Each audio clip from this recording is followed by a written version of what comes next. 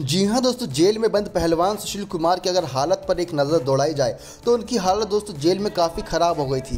क्योंकि दोस्तों, आप कल्पना करिए कि आप एक सेल में बंद हैं, वहाँ पर आपके आसपास पुलिसकर्मी है, जिनसे आप ज़्यादा खुलकर बातचीत भी नहीं कर सकते। इसके अलावा कोई और शख्स आपके आसपास नहीं दिखता। इसके पीछे का मुख्य रीज़न दोस्तों यही था कि जो गैंगस्टर के ऊपर हमला को लेकर खतरा जताया गया था कि सुशील कुमार पर किसी गैंगस्टर का हमला हो सकता है तो उसी वजह से उसको सुरक्षा दी गई थी।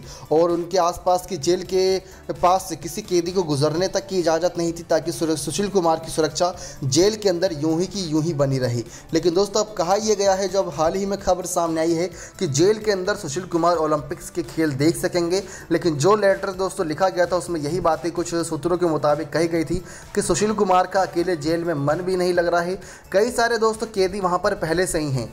हज़ारों की संख्या में है जो दोस्तों कभी कभी किसी खास मौके पर एक साथ इकट्ठा होकर अपनी मन की बातें भी कर लेते हैं और दिन के वक्त इधर उधर टहल भी लेते हैं, लेकिन सुशील कुमार को सूत्रों के अनुसार वो भी इजाज़त नहीं, वो आसपास की पार्कों में भी नहीं जा सकता जो जेल के अंदर बने हुए हैं। रीज़न दोस्तों वही गैंगस्टर का खतरा है तो इसी वजह से दोस्तों सुशील कुमार जेल में अकेले हैं, मन नहीं लग रहा, लेकिन अब ओलंपिक के खेल देख सकेंगे टीवी के ज़रिए और वहाँ पर देश विदेश की जानकारी से भी रूबरू हो सकेंगे। तो सूत्रों के अनुसार अब यही कहा गया है कि उनका जेल में मन भी लग जाएगा और वो थोड़ा सेटिस्फाइड रहेंगे कि चलिए बाहर की जानकारी भी मिल रही है और ओलंपियन चैंपियन है तो ऐसे में ओलंपिक खेलों को देखकर अपनी पुरानी यादें ही ताज़ा कर लेंगे।